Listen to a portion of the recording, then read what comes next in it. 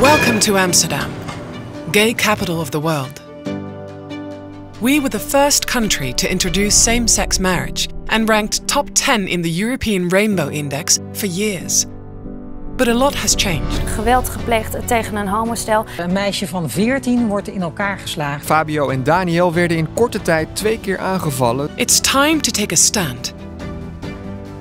But COVID cancelled Amsterdam Pride Week, silencing the biggest voice in the LGBTQ community. So we used internet law to send a powerful message to the Dutch government. Introducing Accept to Enter, an idea that put the universally hated cookie pop up to good use. Instead of accepting cookies, it asked you to accept human rights, to explicitly ban discrimination and violence against the LGBTQ community by constitutional law. Something that Portugal, Malta, and the UK have already done. We launched the pop up and invited brands to add it to their website.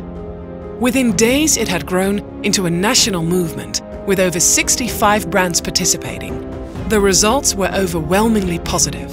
Without a media budget, the pop-up reached over 14 million people, was accepted by millions, and generated a media value of 400,000 euros.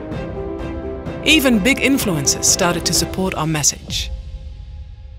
And most importantly, we put considerable pressure on the politicians to rethink their stance on the subject.